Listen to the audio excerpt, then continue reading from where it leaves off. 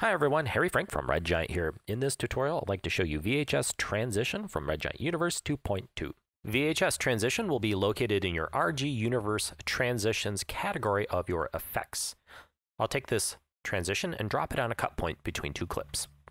VHS Transition emulates the look of recording a video over another video on a VHS tape. This is often referred to as a crash record, in that the incoming video that is being recorded is not maintaining sync with the previous video. This often results in a loss of synchronization that causes the vertical hold to roll, the saturation to get lost temporarily, lots of video noise and distortion to be introduced, that kind of thing. VHS Transition tries to apply parameters to a lot of this stuff that happens during a crash record. Now, before you dive into all the parameters, always know that you can browse the presets by clicking on the Browse Presets button, and as you roll over these, you can see that there's a ton of different examples already provided for you. You can use these as is or as a starting point. Now, starting at the top, we have the transition type. This is simply how it's getting from video A to video B before all of the other noise and color effects are applied. So we can have it cut or wipe or slide down or up. So if I set this to a wipe, we'll see that the video holds in place and simply wipes from clip A to clip B. Next, we have the tape noise section, which introduces noise prints captured from real VHS tapes.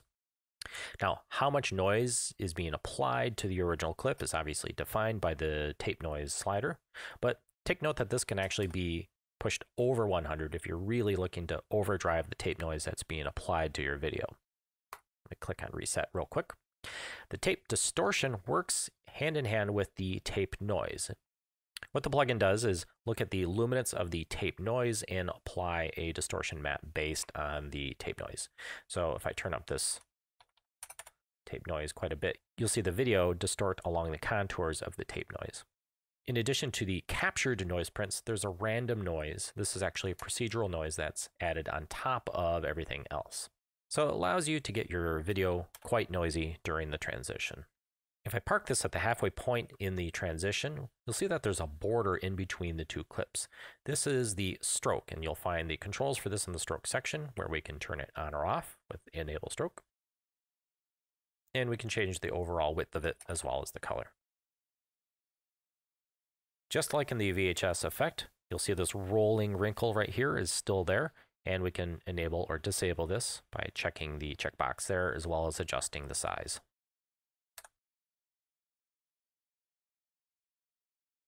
Next, I'd like to talk about the color controls, which is a fairly large section that we'll twirl open and take a look at here. I'm going to jump to a different example here. In fact, let me select this and set the transition type to a cut.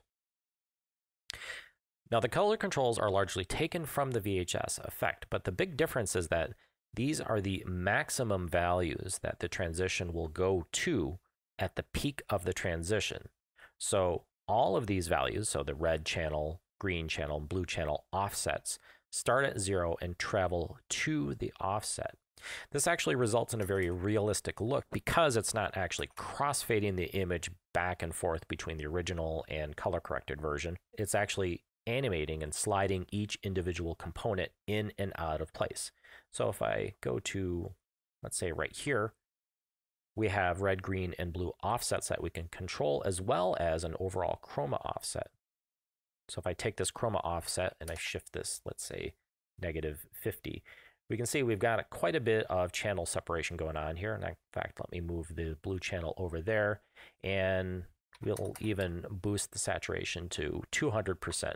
So we have quite a bit of color error going on. But if I slide this all the way back, or let's say move forward to the end of the transition, we'll see that the individual channels and the overall chroma all slide back into place to get to the B clip. The same happens at the start of the clip, going back to the original clip A. Also note that the saturation can go all the way down to zero, which is a common thing that happens during a crash record. It also can go into a negative direction. This will actually invert the hue. Frame jitter is pretty straightforward. It adds a little bit of jitter to the frame as it travels. Skew is actually a new parameter. So if I set this to, let's say 0.2, it will actually take the video frame and twist it and contort it. This will actually ease in and out. Lastly, because we are working with noise prints that actually do have color in them, we've added the option for a monochrome look. So this will simply remove the color from everything in the video, including the noise prints. And at the very bottom, we have a frame style, and this allows you to set this to 4x3 if you are using a 4x3 source and you'd like the noise to be cropped from the edges. And that is an overview of VHS transition found in Red Giant Universe 2.2. My name is Harry Frank. We'll see you next time.